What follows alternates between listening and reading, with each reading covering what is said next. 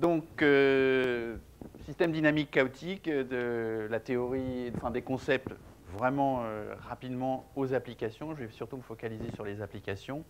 Bien, donc on va commencer avec Henri Poincaré. Et euh, donc Henri Poincaré, qui est, on peut dire, le, père fondateur de, de, la théorie des systèmes dynamiques.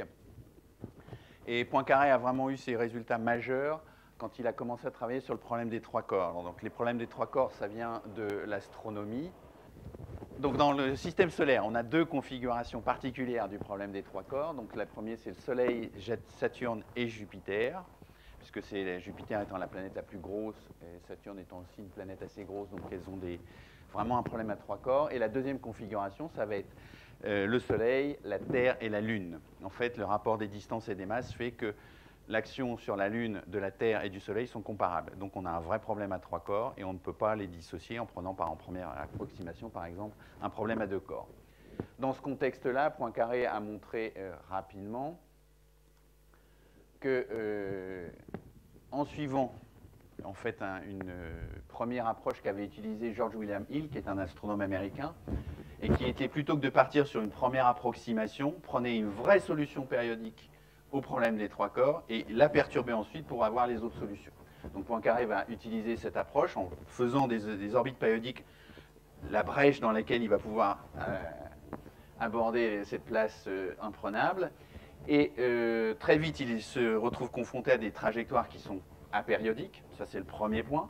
Et le deuxième point, il va être capable de montrer que s'il perturbe alors, il va montrer que euh, s'il perturbe très légèrement la condition initiale, et donc là on a deux conditions initiales, une petite lune jaune et une petite lune verte, qui sont dans la partie droite de la figure, c'est le même temps d'intégration, et on voit bien que les courses des deux petites lunes finissent une en haut à gauche et l'autre en bas à gauche. Et donc à des positions très différentes malgré une condition initiale très proche. Donc Poincaré réalise ça et voit donc qu'il y a donc une très grande sensibilité aux conditions initiales et euh, qui va rendre imprédictible l'évolution de ces systèmes. Donc Poincaré établit ça dans un mémoire de 1890 et euh, il va poursuivre les développements et accéder aux orbites homoclines, c'est pas trop le sujet aujourd'hui, avec les méthodes nouvelles de la mécanique céleste qui finira de publier en 1899. Et ça va clore grosso modo son, problème, son programme des systèmes dynamiques. Le point important, et ça Poincaré l'a dès sa thèse initiale de 1878, c'est que plutôt que de chercher des solutions analytiques comme c'était la coutume à l'époque, il va travailler dans l'espace des états, ou des phases, mais je préfère utiliser des états, c'est plus explicite, des états qui sont en fait euh, définis par les coordonnées impliquées, par les variables apparaissant dans les équations différentielles. Donc l'espace des phases devient essentiel pour Poincaré, et plutôt que d'utiliser une solution particulière, il va utiliser une approche de la structuration de l'espace pour avoir accès à l'ensemble des solutions. Alors, euh, par la suite, euh, Henri Poincaré, dans son ouvrage Sciences et méthodes de 1908, va généraliser ça des systèmes naturels comme la météorologie. Et il dit à ce sujet, une cause très petite qui nous échappe détermine un effet considérable que nous ne pouvons pas ne pas voir, et alors nous disons que cet effet est dû au hasard. Si nous connaissions exactement les lois de la nature et la situation de l'univers à l'instant initial, nous pourrions prédire exactement la situation de ce même univers à un instant ultérieur. Mais, lors même que les lois naturelles n'auraient plus de secret pour nous, nous ne pouvons connaître la situation initiale qu'approximativement. Si cela nous permet de prévoir la situation ultérieure avec la même approximation, c'est tout ce qu'il nous faut, et nous disons que le phénomène a été prévu, qu'il est régi par des lois. Mais il n'en est pas toujours ainsi il peut arriver que de petites différences dans les conditions initiales en engendrent de très grandes dans les phénomènes finaux. Une petite erreur sur les premières produirait une erreur énorme sur les derniers. La prédiction devient impossible et nous avons le phénomène fortuit. Donc ça, c'est un constat très fort et qui va euh, perdurer, notamment euh, en météorologie, pendant très longtemps. Alors, je vais faire un rapide historique sur les prévisions météorologiques. Ça commence avec un, nordiste euh, au nom imprononçable, Bjerke, bref, Berknes, Bjerknes donc, euh, qui en 1904 résout les équations gouvernant la dynamique. Euh, et il écrit Nous devons appliquer les équations de la physique théorique pas seulement aux cas idéaux, mais aussi aux conditions de l'atmosphère existant vraiment comme elles nous sont révélées par les observations modernes. De ces conditions, nous devons apprendre à calculer celles qui suivront. Donc en gros, il nous dit que ça ne suffit pas de calculer des cas théoriques, il est vraiment essentiel de projeter les solutions qui correspondent aux situations réelles pour pouvoir en faire quelque chose d'utilisable, d'applicable. En 1912, Lewis Fry Richardson euh, développe une procédure numérique pour cette résolution. Et il estime en 1922 qu'il faudrait 64 000 personnes pour calculer l'évolution de la météorologie en temps réel. Donc là, on est en 1922, il n'y a pas encore d'ordinateur, et donc il faut faire tout à la main, et donc voilà, 64 000 personnes. Donc on peut dire que c'est absolument euh, irréalisable. Euh, Richardson passe, si je ne me trompe, six mois pour faire une réalisation sur 6 heures qui échoue complètement. Donc, euh, ce n'était pas gagné en 1922. En fait, il faut attendre les années 1950 et l'arrivée des ordinateurs pour que les choses commencent à changer euh, réellement. Euh, donc Jules Charnay avec un certain John von Neumann, ils, vont ils, vont résoudre une ils, développer une solution numérique à l'équation de vorticité barotropique dans une approximation grossière.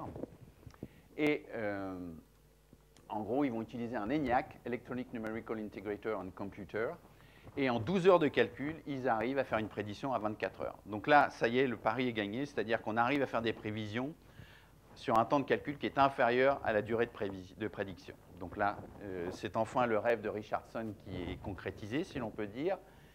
Euh, donc en gros, cette euh, équation de vorticité correspond au grand rouleau de l'atmosphère autour de la Terre. Avec, donc là, on en voit, il y en a quatre. alors, c'est là que va rentrer, vont rentrer, enfin, va rentrer dans la danse un certain Edward Lorenz, qui avec Victor Starr, donc deux personnes du Massachusetts Institute of Technology, visite Charney et von Neumann pour s'assurer du potentiel des prévisions météorologiques par simulation numérique. Euh, évidemment, ils vont être convaincus. Et euh, Lorenz va se, comment dire, va se développer ses recherches sur la simulation numérique des équations de l'atmosphère.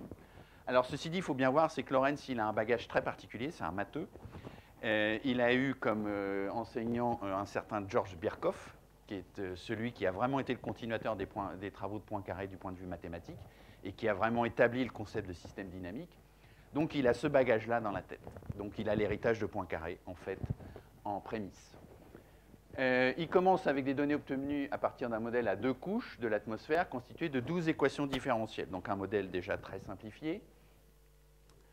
Euh, donc voici la, série temporelle qu'il a sur, euh, simulée pour 8 mois d'évolution de certaines conditions météorologiques. Et en 1962, il conclut qu'il a un phénomène aléatoire dont le spectre est à large bande, c'est-à-dire que si on fait une décomposition en mode de Fourier, on en a un très grand nombre, donc quasiment non manipulable. Et il remarque que quand il fait des prévisions à un jour, elles sont parfaites, à deux jours, elles sont très bonnes, et à quatre jours, elles sont très imparfaites.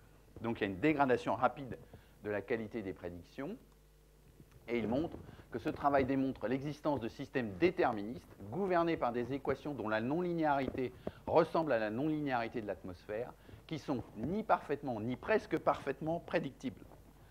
Donc là, on retrouve en fait le résultat de Poincaré obtenu sur le problème des trois corps. C'est-à-dire qu'on a un système déterministe, mais c'est non prévisible à long terme.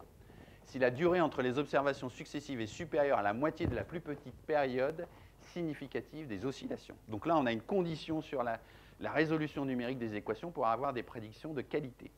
Et ça, évidemment, plus on va prendre un pas de temps petit, plus on va avoir allongé la durée de la prédiction. Bien, donc, euh, Lorenz, qui, qui l'intéresse, il a vu que c'était imprévisible, il, connaît les travaux de Poincaré sur le problème des trois corps, donc il sait que finalement, ce n'est pas très surprenant. Et ce qu'il va euh, s'attacher à faire, c'est qu'il va montrer que ce n'est pas inhérent à la simplification des équations, mais que c'est inhérent aux phénomènes eux-mêmes. Et pour ça, il va se dire, bah, je vais prendre le système le plus simple que je puisse écrire et essayer de reproduire ces phénomènes d'imprévisibilité à long terme.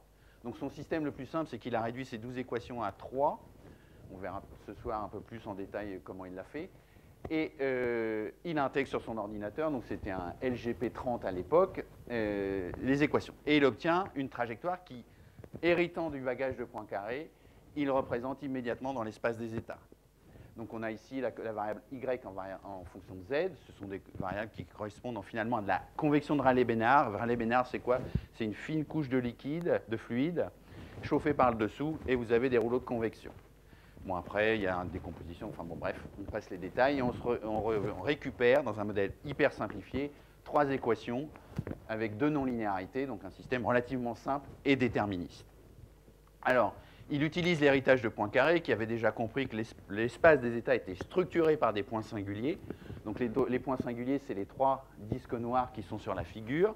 Et en fait, on montre que euh, les deux, euh, celui qui est en bas est en fait un point qu'on appelle un point col. Donc la trajectoire arrive dessus et s'écarte d'un côté ou de l'autre selon la petite perturbation par rapport au point d'arrivée.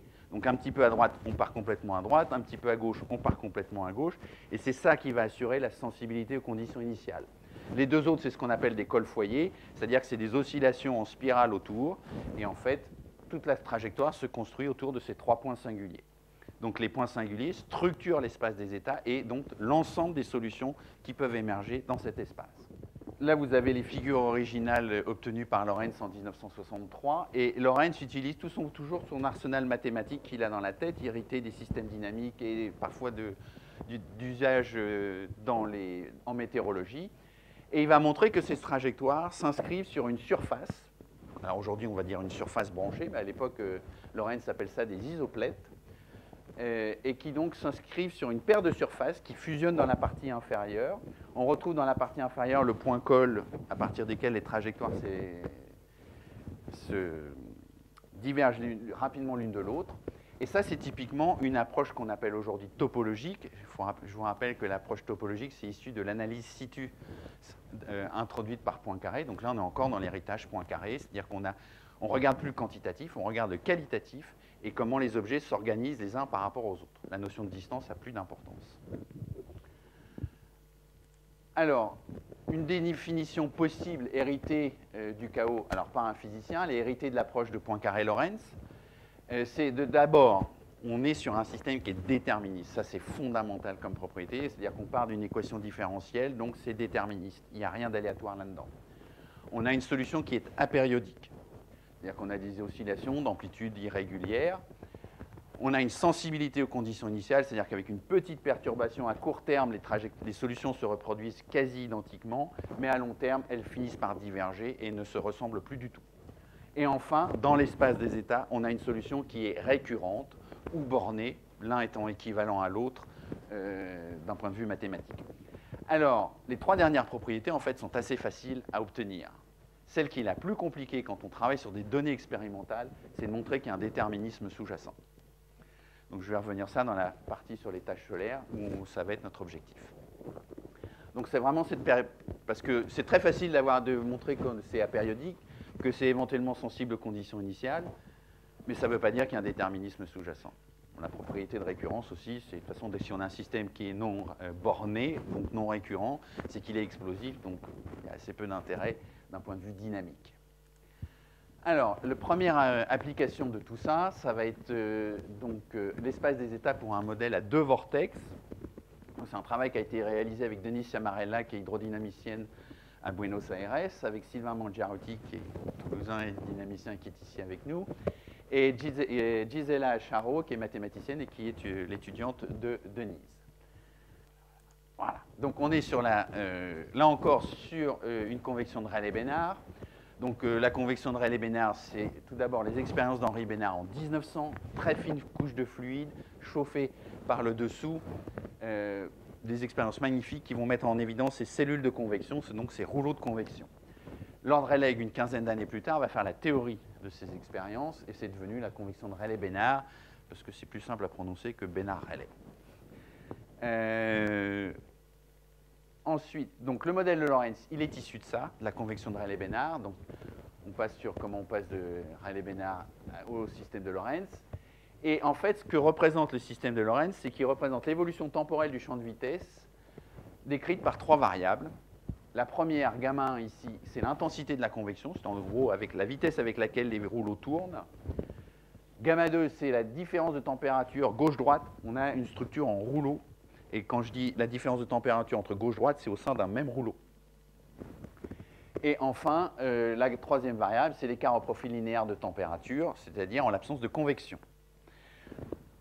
Euh, on a vu que euh, Lorentz utilise la représentation dans l'espace des états. Et là, il y a un point particulièrement important à faire, c'est que l'espace des états n'est pas l'espace des états physiques, réel. C'est-à-dire qu'ici, il n'y a aucune coordonnée qui est une coordonnée de position.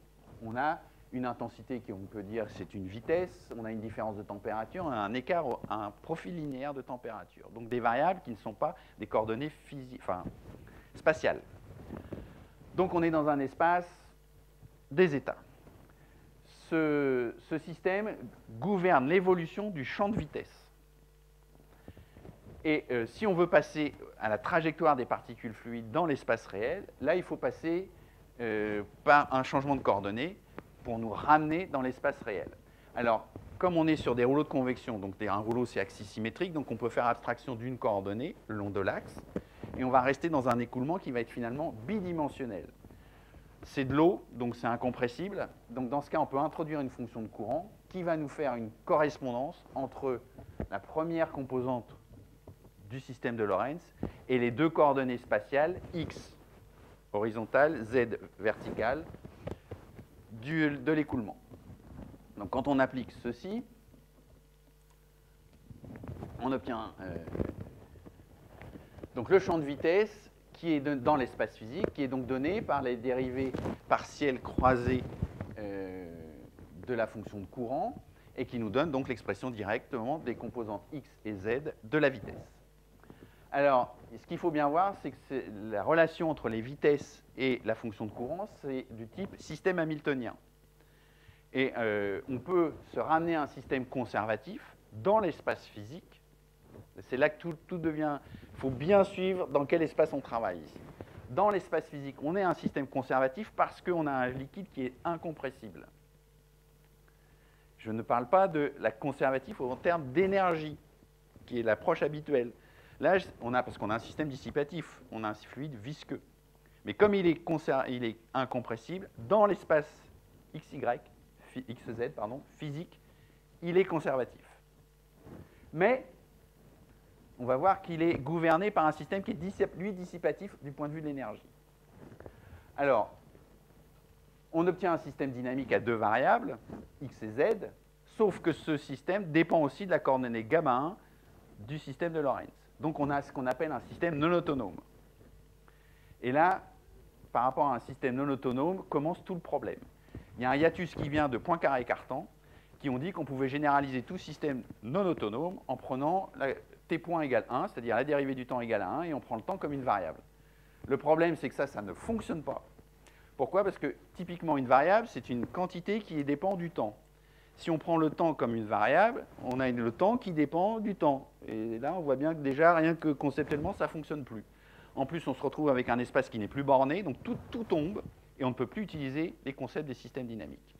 Donc cette généralisation des systèmes non autonomes à un espace de dimension n plus 1 ne fonctionne pas, de manière générale. Et ça, c'est la seule fois où je vais être en désaccord avec Poincaré dans tout ce, dans tout ce que j'ai pu faire. Donc, qu'il faut faire, c'est qu'on a le système qui gouverne l'évolution du champ de vitesse en fonction du temps, qui est le système de Lorentz, qui est un système qui est lui autonome, il ne dépend de rien d'autre, et qui est dissipatif. On peut montrer qu'il dissipe l'énergie. C'est normal, c'est un fluide visqueux, etc., etc. Ce système force un sous-système qui est lui conservatif. Et donc, pour arriver à avoir... Alors, comment évoluent ces deux systèmes? Pourquoi il y, a, un paradoxe quand on ne réalise pas dans quel espace il faut bien travailler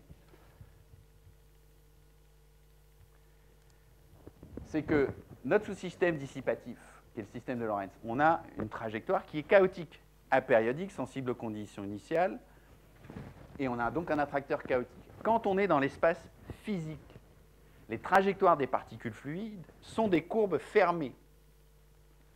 Et si on reste là, on se dit, ah ben on a des orbites périodiques, ce n'est pas chaotique. D'un point de vue système dynamique, un système qui est forcé par un système chaotique ne peut pas être périodique. C'est impossible. Ça veut donc dire que là, on n'est pas dans le bon espace. Quand on travaille dans l'espace physique, on ne travaille pas dans le bon espace. Et en fait, pour arriver à avoir l'approche euh, correcte, ça veut dire que mes particules fluides décrivent bien une boucle fermée, ça c'est incontestable, mais ça ne veut pas dire qu'elles le décrivent de manière périodique. Comment je peux voir ça? Ben, Il faut garder en tête que je, suis, je suis dans une projection d'espace, et cette projection-là, elle fait disparaître une partie de l'information fondamentale pour l'évolution des trajectoires des particules. Donc, pour voir ça, ici, j'ai représenté une des coordonnées physiques, donc la coordonnée en x, et j'ai pris la composante de la vitesse qui lui correspond. Et là, on voit bien que je n'ai pas du tout une trajectoire périodique. Parce que qu'est-ce qui se passe, en fait, c'est que la particule fluide décrit bien une boucle fermée, mais elle décrit cette boucle fermée avec une vitesse qui varie chaotiquement. Et si on n'est que dans les positions, on ne voit pas cette fluctuation de vitesse. Donc on a bien une trajectoire chaotique finalement. Mais dans la représentation qu'on a, on ne voit pas l'aspect chaotique des choses. Donc, ça veut dire qu'il va falloir travailler dans un espace qui est élargi, et la seule manière de traiter correctement un système dynamique, c'est de le traiter de manière en version autonome, et correctement autonome. C'est-à-dire qu'en fait, il faut englober tous les processus physiques qui sont sous-jacents à ce qu'on étudie. Dans le cas présent, on a une modulation du champ de vitesse par le système de Lorentz qui agit sur un système physique forcé. Et le système autonome, c'est l'ensemble des deux. Donc on se retrouve non pas avec un système à deux dimensions dans l'espace réel ou à trois dimensions dans l'espace euh, des états associés au sous-système de Lorentz, mais un, un espace de dimension 5. Et c'est dans cet espace qu'il faut raisonner. Et là, il n'y a plus de problème. Tout fonctionne comme d'habitude. La petite caractéristique, c'est qu'on se retrouve avec un système dissipatif qui force un système conservatif. Donc on a un système mixte qui est semi-dissipatif ou semi-conservatif, ça dépend ce qu'on préfère, et qui a des propriétés un peu particulières. Développer, on, va être un peu plus technique si on part là-dedans. Mais on a un système qui est mixte, et donc avec des particularités. Alors, pour revenir à un problème qui est assez euh, fréquent en dynamique des fluides, on va regarder un modèle à deux vortex, c'est-à-dire deux rouleaux, grosso modo, alors, il se rencontre dans la nature, donc dans les océans, par exemple. Donc là, on a une cartographie euh, qui date de août 2005. Dans les nuages de Jupiter. Et on retrouve ça aussi dans la nuit étoilée de Van Gogh, avec des beaux rouleaux. Nous, on va se contenter d'un modèle euh, mathématique simplifié, où on va avoir juste deux rouleaux. Et en fait, il y a une perturbation des rouleaux qui fait qu'il euh, y a des particules fluides qui passent d'un rouleau à l'autre. Donc les deux rouleaux se mélangent. Et il y a un transfert de matière de l'un à l'autre.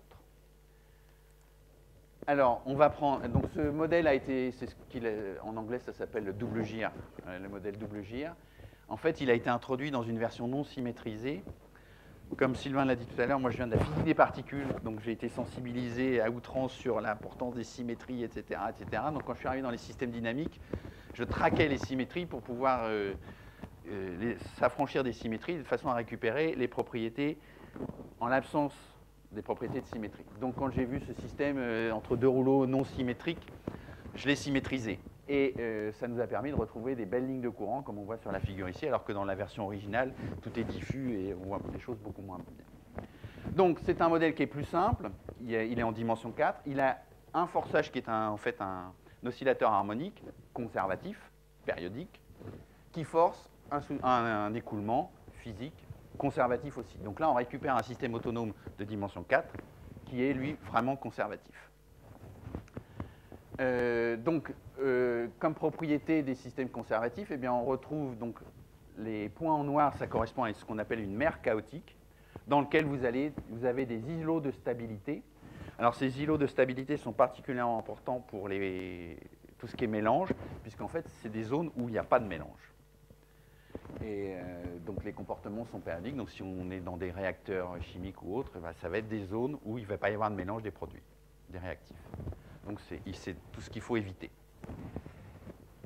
Donc voilà, donc là on a compris, on a levé un certain nombre de paradoxes euh, qui, qui traînent dans la littérature, juste en travaillant dans le bon espace.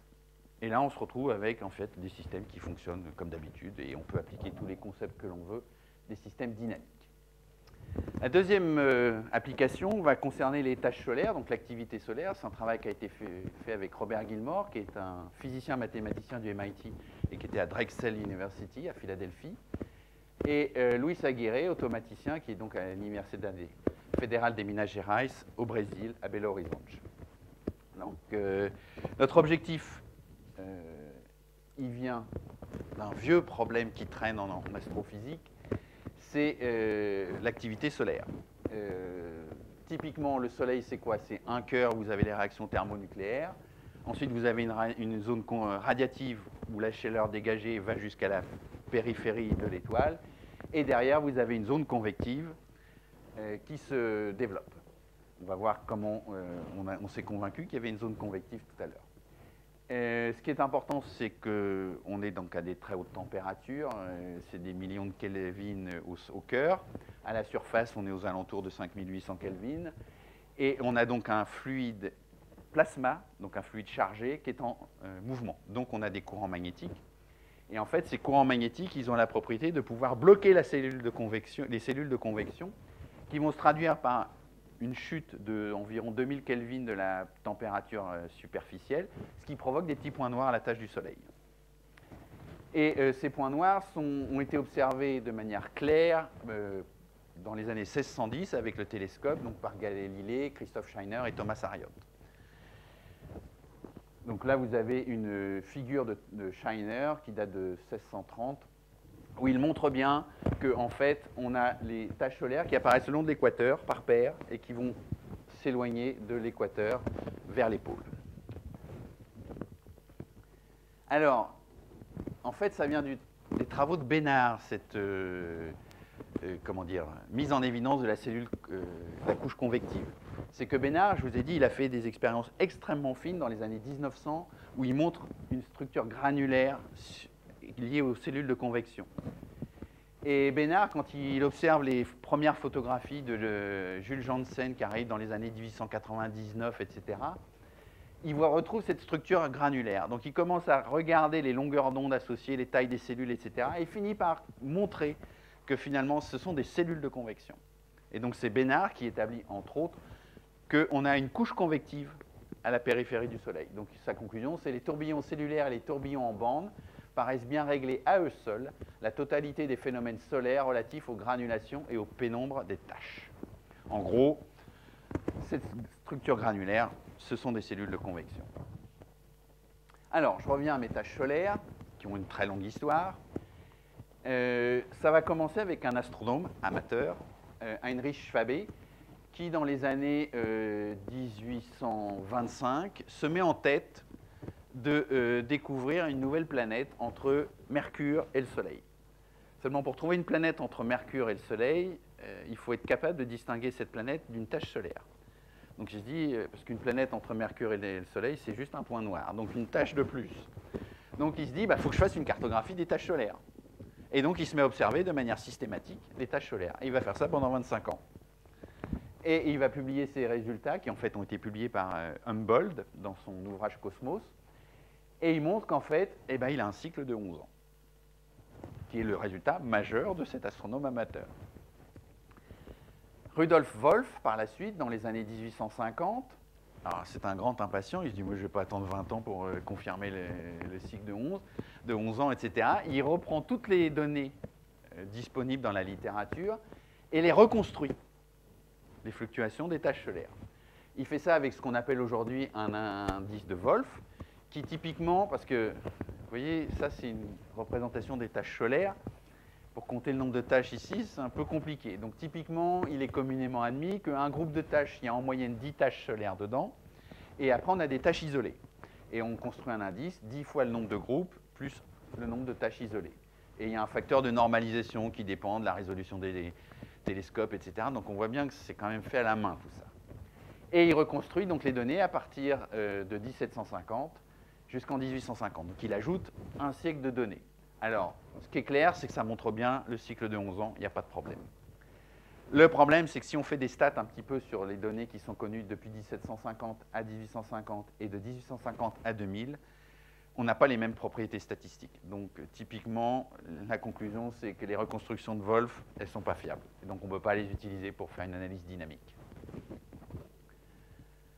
Alors, nous, on va donc partir des indices de Wolf, tels qu'ils sont calculés après 1850, parce que donc là, normalisées dans leur construction. On va prendre les moyennes mensuelles. Pourquoi? Parce que nous, ce qui nous intéresse, c'est de regarder la fluctuation à long terme, c'est-à-dire que d'un cycle de 11 ans à l'autre. Parce que si on regarde bien sur l'évolution de l'indice, je n'ai pas insisté dessus, mais les fluctuations des cycles de 11 ans ont une amplitude irrégulière. Autant la période temporelle est à peu près autant en amplitude, ça peut varier typiquement entre 80 et 180. Donc on a vraiment une grande fluctuation. Ce qu'il faut voir, c'est que plus il y a de tâches, plus le Soleil est en activité. Euh, donc nous, ce qui nous intéresse, c'est essayer de voir si on ne peut pas faire une prévision d'un cycle à l'autre. Donc ce qui nous intéresse, c'est les moyennes à très long terme. Donc on prend les moyennes mensuelles qu'on va en plus lisser pour vraiment avoir la, dynamique à long terme. Les petites fluctuations liées euh, journellement, par exemple, ce n'est pas ce qui nous intéresse. Là, euh, dans les représentations ici, on utilise ce qu'on appelle une reconstruction par méthode des décalages. Donc on a l'indice, en, abscisse, on a l'indice à l'instant t, et en ordonnée, on a l'indice à l'instant t plus taux, taux étant un décalage qu'on fixe. Comment on le fixe? À l'œil. Soyons clairs, il y a des tas de méthodes qui existent, mais il n'y en a aucune qui marche toujours. C'est la seule qui marche, c'est l'œil. C'est typiquement qu'on va essayer d'agrandir le, délai jusqu'à ce que euh, la figure se déplie par rapport à la première bisectrice. Si elle commence à s'allonger sur la seconde, c'est qu'on a pris un décalage trop grand. Et avec ça, ça fonctionne très très bien. Là, on a pris 15 mois, qui est un décalage courant euh, pour l'étude des tâches solaires. Donc vous voyez qu'on a une trajectoire qui manifestement n'est pas périodique, mais attention, on n'a que les données depuis 1850, donc on a quoi Une quinzaine de cycles, pas plus, donc c'est un peu juste pour conclure de manière euh, correcte. Mais on est en physicien, donc on travaille euh, avec ce qu'on a. Et on n'a pas, pas peur des approximations grossières. Alors, euh, en 1908, il y a un deuxième point important, c'est George Hale qui montre que chaque tache solaire est associée à un fort champ magnétique.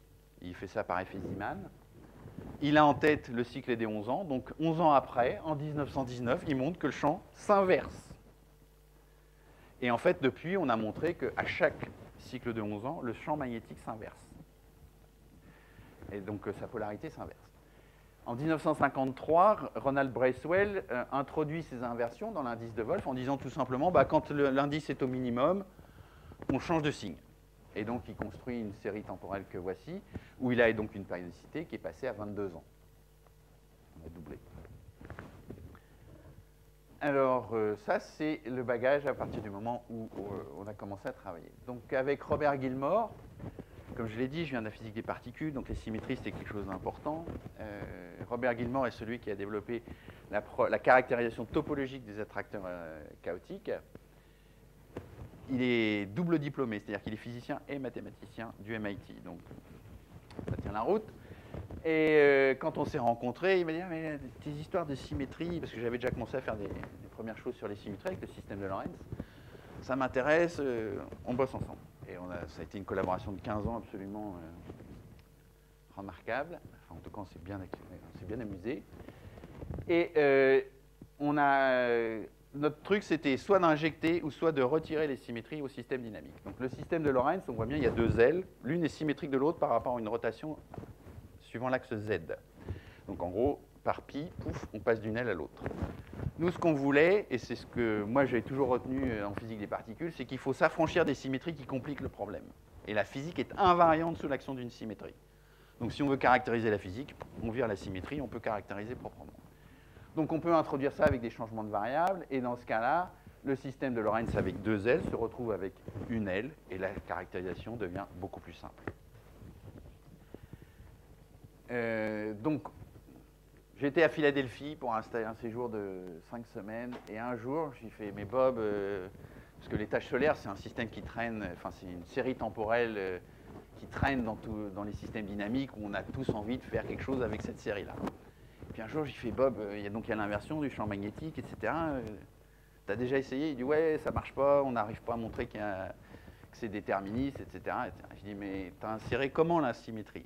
Et là, on s'est regardé tous les deux, on, on a compris. Avec tout ce qu'on avait fait sur les symétries, on a dit On n'a jamais fait ça correctement. Donc on va changer la manière d'injecter la symétrie dans les données.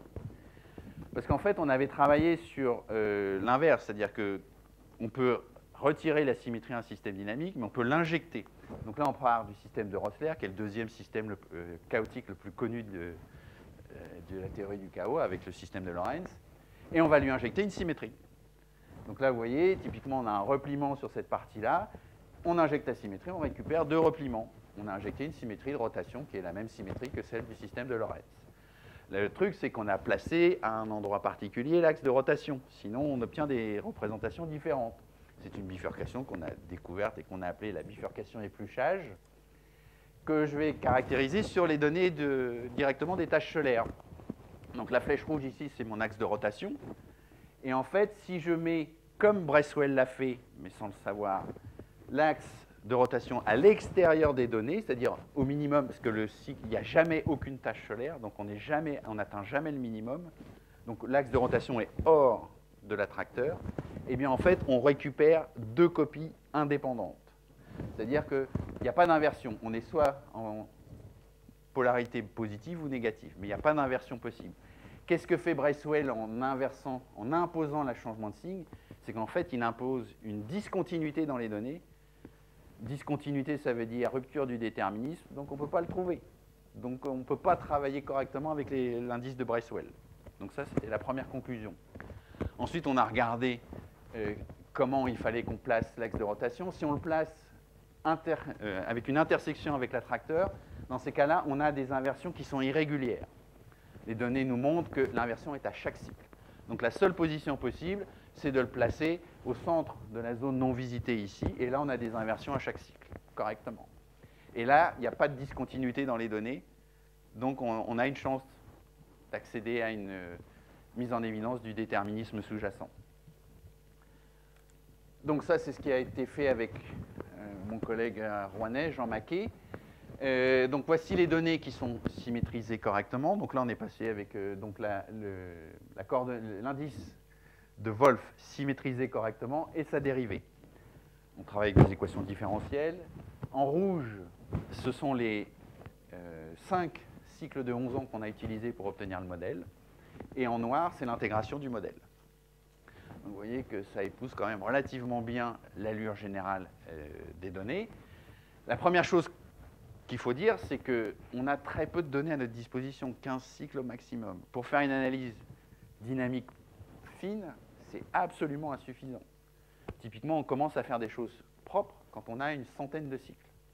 Là, on en a 15, donc on fait avec ce qu'on peut. Mais de l'allure générale, on a quelque chose qui marche déjà relativement bien. Et en tout cas, c'est le premier modèle global, comme on appelle ça, qui sort des, données de tâches solaires. Donc euh, déjà, c'est un résultat en soi. Donc ça veut dire qu'on a trois équations différentielles, écrites avec l'indice de Wolf et les deux dérivées successives. Et si on, retire la symétrie qu'on a injectée, on récupère ceci. On voit bien qu'on a des fluctuations sur le maximum. Donc on voit bien que la partie du minimum, du minimum de, des cycles ne va pas être très bien décrite, mais on peut être relativement confiant sur la partie max.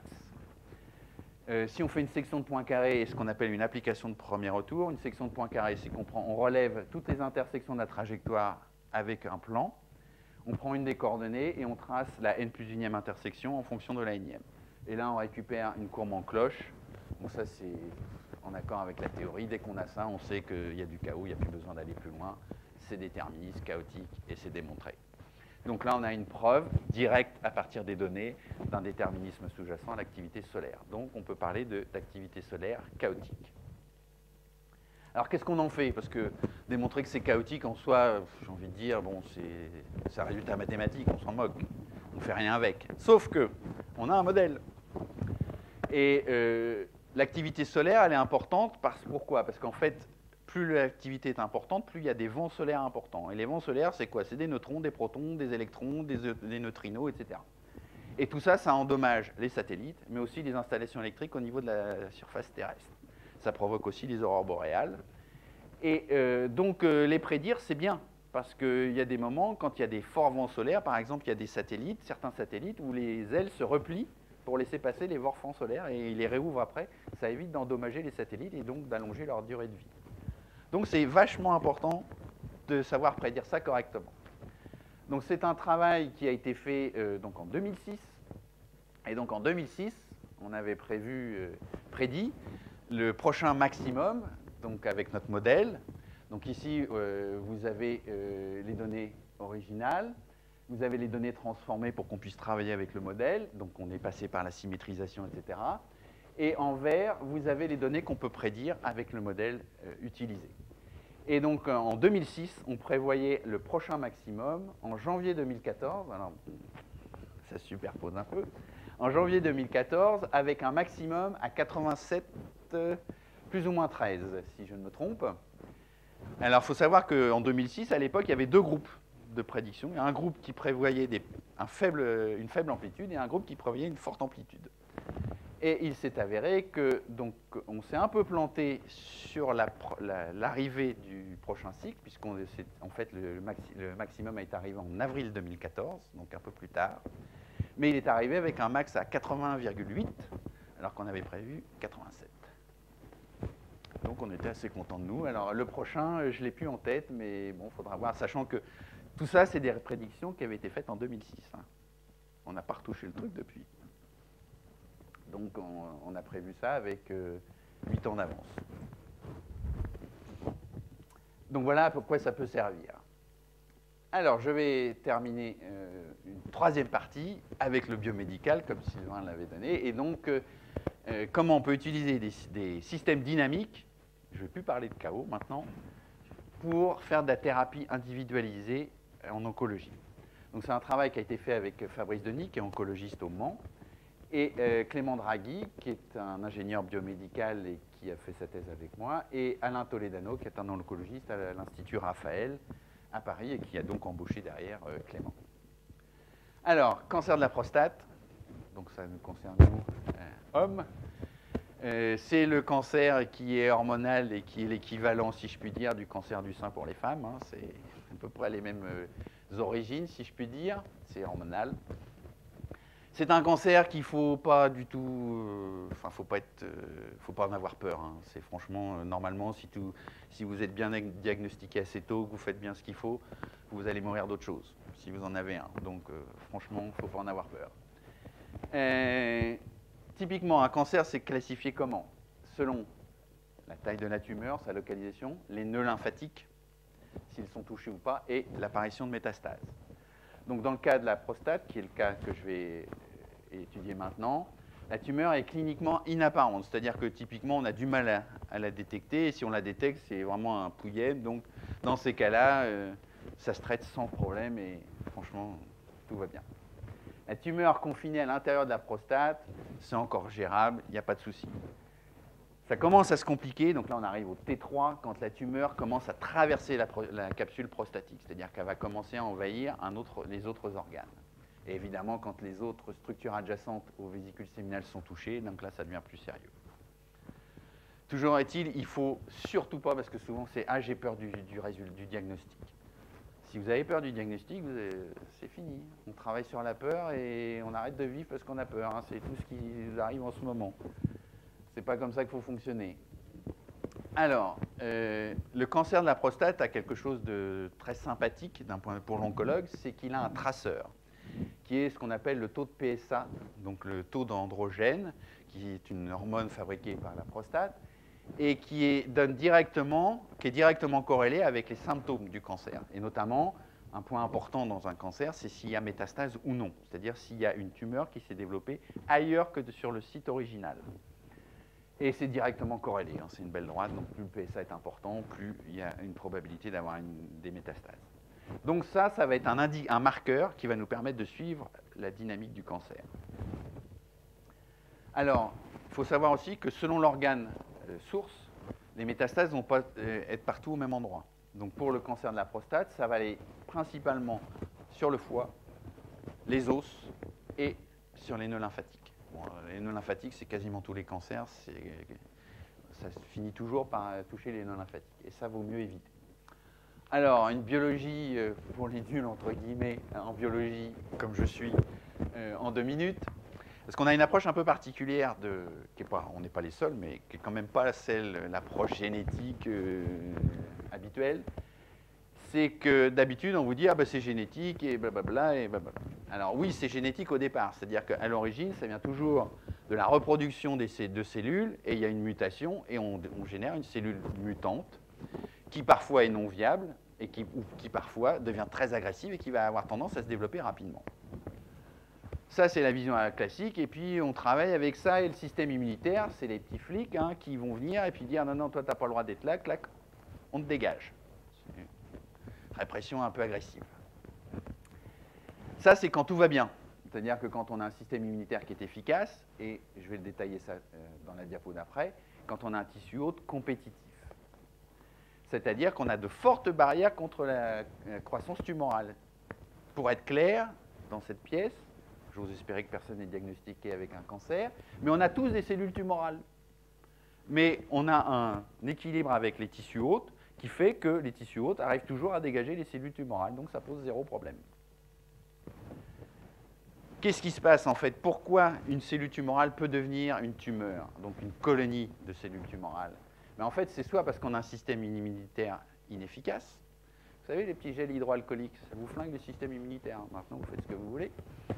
Euh, et euh, le tissu hôte est non compétitif. Et ça, je vais expliquer ça dans la diapo après. C'est-à-dire qu'on a des faibles barrières contre la croissance tumorale. Donc ce que je suis en train de vous expliquer, c'est que ce n'est pas la, tumeur qui prend le pas sur le corps, c'est le corps qui lâche face à la tumeur. Et ça, ça change tout dans la perception et dans la gestion des cancers. Donc ça, ça commence à se développer, ça fait une dizaine d'années, je ne sais plus quelle année c'était cet article où c'est en, gros développé. Donc nous, on est complètement dans cette approche-là. C'est-à-dire que si on ne soigne pas son corps, il eh ne ben, faut pas s'attendre après à ce qu'il y ait un problème. Typiquement, si vous mangez McDo, buvez Coca, etc., vous préparez votre cancer, il n'y a pas de souci. Pour faire court. Alors, qu'est-ce que j'entends par la compétition entre les tissus hôtes et les cellules euh, tumorales? C'est qu'en fait, les cellules tumorales, c'est des cellules, elles ont besoin de manger, elles ont besoin d'oxygène et elles mangent au même râtelier que les cellules hôtes. En gros, il faut concevoir qu'une tumeur se niche dans un tissu hôte. Et comme le tissu hôte, elle va aller manger au même endroit, c'est-à-dire l'irrigation sanguine. Si le tissu hôte est compétitif pour drainer l'oxygène et les nutriments, les cellules tumorales n'ont pas de, assez à manger et donc elles ne peuvent pas proliférer. C'est en gros comme ça que ça se régule en complément avec le système immunitaire. S'il n'y a pas de système immunitaire, ça ne marche pas. Mais s'il y a un système immunitaire, ça, ça devient un, paramètre extrêmement important. Alors, dans le cas de la prostate maintenant, il y a une spécificité, c'est que c'est gouverné par les hormones. Et donc, euh, en fait, la prolifération des, des, cellules tumorales est gouvernée par le taux d'androgène. Pas d'androgène, pas de prolifération. Donc, qu'est-ce qu'on fait pour traiter en premier traitement un cancer de la prostate? On va faire ce qu'on appelle une castration chimique, c'est-à-dire qu'on va couper la production d'androgènes. Donc on va couper comme ça la prolifération tumorale. Et ça, généralement, ça peut tenir sur des années. Alors, typiquement, l'évolution d'un cancer de la prostate, ça va se faire en trois étapes, avec trois traitements euh, particuliers. Des cellules au départ qui sont hormonodépendantes, c'est-à-dire fortement dépendantes du taux d'androgène. Bah, qu'est-ce qu'on fait? On, utilise ce qu'on appelle les analogues de la LHRH, c'est-à-dire qu'on va faire une castration chimique où on va réduire le taux d'androgène. Ça va faire descendre le taux de prolifération des cellules tumorales et donc on va contenir le cancer comme ça. Le problème, c'est que si on les prive trop souvent, trop longtemps de, euh, cellules, enfin de, protéines, d'androgènes, les cellules tumorales deviennent hypersensibles. C'est-à-dire qu'il en suffit d'une très petite quantité pour qu'elles puissent proliférer. Ça, c'est la première mutation. Donc elles deviennent hormono-hypersensibles. Dans ce cas, il faut carrément couper les antiandrogènes. Enfin, les androgènes. Donc on utilise un antiandrogène. Le problème des antiandrogènes, c'est qu'autant les analogues de la LRH ont très peu d'effet sur l'état général du patient, les antiandrogènes, ce n'est pas la même chose. C'est-à-dire que ça a tendance à affaiblir le patient. Et si on affaiblit, eh ben, on travaille pour la tumeur aussi. C'est là où il faut apprendre à gérer. Et à partir de cela, il y a une, comment dire, une vraie mutation. C'est-à-dire que là, on passe sur ce qu'on appelle une évasion hormonale c'est que les cellules tumorales deviennent hormono-indépendantes. Donc là, ça ne sert plus à rien de traiter euh, le taux d'androgène, il faut passer à quelque chose d'autre. Et typiquement, ça va se traduire par une chimiothérapie. Alors, euh, notre objectif, alors, ce qu'il faut voir, c'est que les analogues de la LRH, si on les utilise en continu, comme c'était fait, eh on, prive en continu les cellules euh, tumorales d'androgènes, donc elles deviennent très rapidement hypersensibles. Donc il faut faire des traitements intermittents. Et notre objectif, c'était, avec un modèle, essayer d'optimiser le traitement intermittent. Donc le modèle, il est quoi? Donc je vous l'ai dit, pour nous, dans tout ce qu'on a fait, je présenterai une autre application sur le cancer ce soir, tout ce qu'on a fait, l'état global du patient, c'est-à-dire le tissu haut, sa qualité, sa compétitivité, sa, force, est hyper importante dans tout ça. Donc on a une première euh, équation qui, gouverne l'état global du patient. Alors l'état global, c'est la compétitivité du tissu hôte à aller euh, récupérer l'oxygène et les nutriments. Il y a le taux d'androgène, puisque ça c'est spécifique au, cancer de la prostate, il faut l'introduire, puisque c'est en gros ça va être ça notre variable mesurée. Il y a le, deux types, ici on s'est focalisé sur les, traitements intermittents, donc c'est les deux types de, les deux premières étapes de l'évolution du cancer. Donc on a des cellules hormonodépendantes et des cellules hormono-hypersensibles. Et on a une mutation entre les deux. Donc on a deux équations, une spécifique pour chaque type de cellule tumorale. Et après, on a deux types de traitements à introduire. Le premier, c'est celle qui régule le taux d'androgène ici, et qui va donc euh, piloter le taux de prolifération en, rétroaction euh, des cellules hormonodépendantes. Et quand on se met à avoir des cellules hormono-hypersensibles, il faut ajouter donc le traitement des anti-androgéniques qu'on retrouve ici. Et là, vous voyez qu'on a ce traitement-là agit sur l'état global du patient en le faisant chuter. Donc si on en met trop, on dégrade trop vite l'état du patient et ça devient contre-productif. Alors, des cas Euh, donc, Comment on a procédé? On a identifié les paramètres directement sur le taux de PSA par un algorithme génétique. En gros, euh, on cherche et on adapte jusqu'à ce que à trouver des courbes qui minimisent l'erreur avec les données. Donc les points noirs, c'est les points de mesure. Alors c'est irrégulier parce que on a fait une étude rétrospective, c'est-à-dire qu'on on n'a pas fait un protocole en disant qu'il faut les PSA mesurer tous les mois, etc. Donc on a fait ça avec des données rétrospectivement. Ici, on a un premier patient qui est un patient de 75 ans, un score de Gleason à 6, c'est un, un, état euh, relativement correct pour un cancer, c'est-à-dire que c'est encore gérable. Typiquement, euh, ça va jusqu'à, j'ai oublié, 8 il me semble, et dès qu'on passe 6, ça devient critique. Mais à 6, c'est gérable. C'est un peu qui tout doux ce score. Et ce patient n'a pas d'antécédent particulier. Ici, vous avez tous les paramètres du modèle, donc estimés à partir des données, et vous avez cinq jeux. On a sorti les cinq meilleurs jeux de paramètres pour bien vérifier qu'on ne soit pas sur un jeu particulier qui fonctionne de manière bizarre. D'accord? Et donc on, se satisfaisait quand on avait cinq jeux de paramètres différents qui donnaient les mêmes résultats. Donc là, par comparaison avec les autres cas, on voit qu'on a des paramètres qui caractérisent donc alors, pas de cellules hormono-hypersensibles, donc on est vraiment dans la première phase du cancer. Et effectivement, il n'y a qu'un traitement avec des analogues de la LHRH. Euh, on a un cancer qui est relativement agressif, c'est-à-dire qu'un taux de prolifération des cellules tumorales qui est assez important. Par contre, c'est compensé par un environnement robuste. Donc finalement, la compétition entre cellules tumorales et cellules hautes peut se faire correctement parce que l'environnement est robuste. Et donc le cancer est quand même contenu. Et donc vous avez les traitements, qui, en donc c'est la courbe carrée en, bas, en bleu, qui représente quand est appliqué le traitement. Alors vous voyez que dès qu'on applique les analogues, le taux de PSA redescend, on lâche, généralement ça repart, plus ou moins vite, on retraite, ça repart, etc. Et c'est comme ça que ça se passe. Le seul truc, c'est que comment on décide d'arrêter, de continuer tout ça, bah, c'est ce qu'on appelle du savoir-faire. Ce n'est pas une science, complètement. Et on aimerait bien en faire une science, c'est-à-dire complètement quantifiée et que ce soit euh, prédictible. Alors, nous, on a, fait, utilisé ensuite le modèle pour simuler différents paramètres pour euh, le traitement intermittent. Et euh, en fait, alors, il faut bien voir, c'est qu'on est en année. Hein.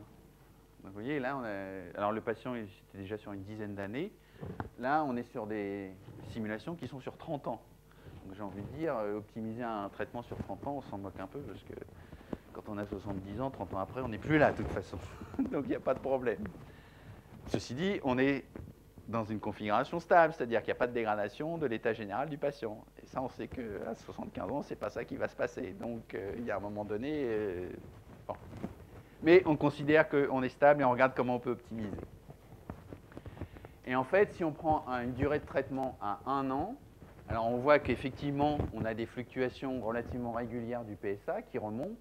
On redéclenche avec un PSA aux alentours de 10 ou 11 et on a un traitement pendant 30% de la durée totale de la simulation. Ici, on a un traitement qui dure deux ans. On traite 50% et on a des fluctuations moins, moins rapides. Et là, avec un traitement à 6 ans, on traite 75% du temps. Ce que ça montre, ces simulations-là, c'est qu'il vaut mieux appliquer un traitement court, mais fréquent, que long, parce qu'en fait, on traite moins longtemps. Et traiter moins longtemps, ça veut dire qu'on va moins favoriser la mutation vers des cellules hypersensibles.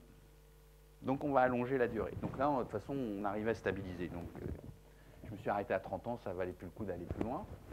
Alors là, un patient complètement atypique. Euh, je vais vous expliquer rapidement pourquoi. Donc en fait, on est sur 8 ans. On a une progression qui est très lente. Alors j'ai oublié de dire, c'est que là, on se place après un traitement initial cancer est détecté, on fait un premier traitement, et ensuite on applique un traitement par des analogues de la LRHRH. Euh, donc euh, c'est très lent.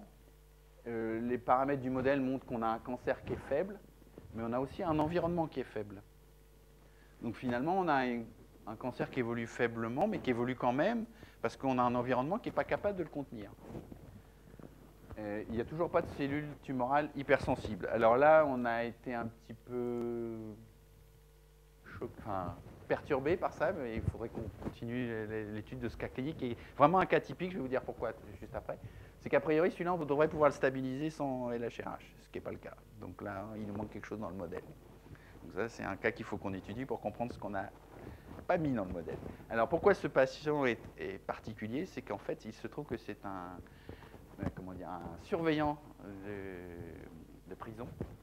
Et cette population est connue comme étant euh, à risque pour tout un tas de maladies, dont les cancers. Ben, pourquoi? Ben, Parce qu'en fait, c'est du stress permanent. Euh, ils, ont souvent des troubles de l'alcoolisme, etc., etc. Et donc, ils sont connus comme étant des patients avec un environnement faible. Et ça, c'est sociologique. J'ai retrouvé une étude qui établissait ça quand j'ai vu l'oncologue, j'ai dit, ce patient-là, il est bizarre, tu peux regarder, il y a forcément quelque chose. Oui, vous l'avez.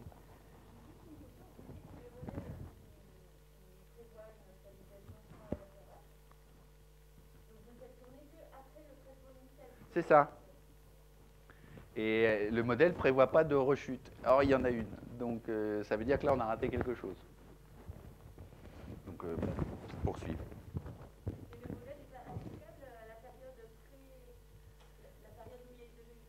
Ben alors, en fait, le problème, c'est que le, premier, le traitement initial peut être fait notamment avec des radiothérapies. Ça, je vais en parler après. C'est que ce n'est pas, pas inclus dans le modèle pour l'instant. Donc, il faut qu'on complexifie le modèle pour justement... Je vais finir sur ce cas-là. Je vais revenir dessus. Donc, un autre cas évolutif, 77 ans, score de Gleason 6, euh, pas d'antécédents médicaux particuliers. Donc, on est comme dans le premier cas.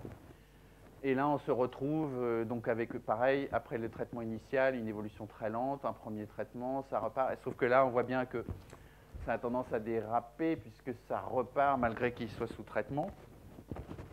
généralement, ce n'est pas bon signe. Alors, les valeurs des paramètres, ben, on a un cancer normal, c'est-à-dire qu'il est dans la moyenne, ni faible ni fort. Hein. c'est tout est relatif, là-dessus, on est bien d'accord. Et l'environnement est légèrement faible, c'est-à-dire qu'on est plutôt dans la partie basse en termes de pour le tissu hôte. Le point, c'est que l'évasion hormonale est déjà initiée. Donc finalement, là, on comprend pourquoi le seul traitement avec les analogues ne fonctionne pas. C'est qu'il faut passer aux antiandrogènes. Donc finalement, là, notre modèle, il marche bien. Si on met des antiandrogènes, on va redescendre. Alors, si on reste avec un analogue de, la LHRH, donc euh, là, ce qu'on a fait, c'est que, alors, c'est là où c'est un travail euh, exploratoire on a regardé les différentes stratégies pour optimiser les, traitements. Là, on faisait la reprise du traitement en fonction du PSA minimum à atteindre. Donc là, c'est 0,25, 0,51. Et en fait, ce qu'on observe, c'est qu'il ne faut pas forcément chercher à redescendre très bas. c'est que là, vous voyez, on redescend qu'à 1 et finalement, on va allonger de 4 ans les simulations avant l'évasion. Là, le, PSA, il s'en va. Donc on, passe il faut passer aux deuxième catégorie de traitement. D'accord? Donc là encore, il ne faut pas chercher forcément à réduire le PSA à zéro. Il faut l'abaisser et euh, trouver le, bon seuil pour euh, optimiser la durée maximum de traitement. Donc ça, ça donne des pistes particulièrement intéressantes pour euh, déterminer les, traitements intermittents. Alors, un cas compliqué, donc là je vais revenir sur votre question. Donc c'est un personne de 66 ans, liaison à 7, pas à 6. Comme par hasard fumeur, mais c'est vraiment un hasard. Il euh, faut savoir que chez un oncologue, euh, la proportion des fumeurs, elle n'est pas euh, égale à la proportion nationale. Hein. Ils sont en forte représentation. Maintenant, je dis ça, je dis rien. donc le PSA. Donc là, premier PSA, ça part assez vite, hein, puisqu'il a déjà un premier pic au bout de 3 ans, alors que les autres, c'était au moins 7 ou 8 ans. Donc il y a un premier traitement. Malgré le traitement, il y a une métastase osseuse qui est ici, donc qui est traitée par radiothérapie. Donc nous, il n'y a pas la radiothérapie dans notre modèle, donc forcément le modèle est incapable de la reproduire. C'est normal, tout ça, ça se comprend bien. Euh, on voit que l'oncologue passe avec un, il double les analogues de l'ARH avec un anti-androgène. C'est-à-dire que là, il a suspicion que ça commence à passer sur autre chose. Euh, il y a malgré tout, euh, donc il arrête, ça reprend un peu, il, remet en traitement, et malgré ça, il y a à nouveau une métastase osseuse. Et donc là, on arrive à 9 ans quand même. Hein. Donc euh, on était à 66, donc à 9, on arrive à 75. On a quand même tenu le patient 75 ans dans un cas compliqué. et donc, évidemment, là, il faut qu'on développe le modèle pour pouvoir absorber ça correctement. Alors, en conclusion, le chaos. J'ai toujours du mal à considérer que le chaos, c'est une théorie au sens propre. C'est pour moi plus un paradigme, c'est-à-dire un, cadre dans lequel on va penser les choses. Euh, c'est un ensemble de concepts et de techniques pour l'étude des systèmes dynamiques de manière générique, c'est-à-dire qu'il n'y a aucune restriction quant au domaine d'application à partir du moment où on a un système dynamique. Qu'est-ce que c'est qu'un système dynamique? C'est un système déterministe qui évolue dans le temps. Point. Donc à partir du moment où vous avez un système déterministe qui évolue dans le temps, on peut l'appliquer. Alors vous dites, ouais, je l'ai appliqué au corps humain. Il faut savoir que pour moi, un corps humain, c'est aussi un système déterministe. On ne le sait pas parce qu'on n'a pas encore euh, toutes les équations qui le gouvernent et on ne l'aura probablement jamais parce que c'est trop complexe. Mais pour moi, c'est un système déterministe. On peut discuter de ça après. Euh, les bonnes pratiques pour une application réussie. Parce que trop souvent, j'ai vu des collègues chaoticiens qui voulaient appliquer, qui voulaient trouver du chaos partout, mais ce n'est pas l'objectif. L'objectif, c'est de répondre à la question que la personne qui vient nous voir ah, euh, avec l'oncologue Fabrice Denis, c'est lui qui est venu me voir. Il me dit écoute, euh, j'ai vu ton bouquin, euh, ça m'intéresse, moi je ne sais pas prédire, toi tu gères l'imprédictible, on peut peut-être faire des choses ensemble. Et donc je l'ai accompagné, je suis allé voir ses patients avec lui, etc. Et j'ai dit c'est quoi ta question? Et il me dit voilà c'est ça. La deuxième étape, c'est qu'il faut reformuler la question initiale, quitte à échanger déjà à ce niveau-là. C'est-à-dire qu'il ne faut pas prendre la question brutalement faut déjà la reformuler la projeter dans le concept des systèmes dans le, paradigme des systèmes dynamiques, pour la transformer en une question de système dynamique. Une fois qu'on a la question, on oublie le côté médical, on fait tout ce qu'on a à faire avec nos outils des systèmes dynamiques, on a une réponse qu'on réinterprète dans le contexte médical à la fin. Et là, souvent, on a des bonnes surprises. Donc ça, c'était la première, euh, enfin, c'était la deuxième en fait. Ce soir, je vous présenterai la première bonne surprise qu'on a eue avec cet oncologue, où on a développé un protocole de suivi des cancers du poumon. Et euh, donc, que ce soit avec euh, les taches solaires où on a injecté correctement les symétries, ou dans le premier cas avec les vortex, les systèmes d'écoulement, où le seul truc c'était de dire mais il faut passer dans le bon espace, et après on déroule tout. Et à partir de ce moment-là, si on fait ça, il y a des chances que ça fonctionne. Alors, je vais terminer avec euh, trois ouvrages. Alors, il y a le plus ancien qui est en français, c'est Le chaos dans la nature, chez Vubert. Il y a une édition anglaise largement augmentée qui date de 2019 chez World Scientific Publishing. Donc, c'est la source, c'est la version française, mais il y a 13 ans entre les deux, donc forcément, il y a eu plein de choses en plus. Et enfin, le, petit dernier de cette année, c'est en fait un livre qu'avait écrit Otto Rossler en 1980, qu'il n'a jamais publié et qu'on a ressorti de ses cartons et qu'on a publié et qui reste étonnant. Je vous remercie pour votre attention.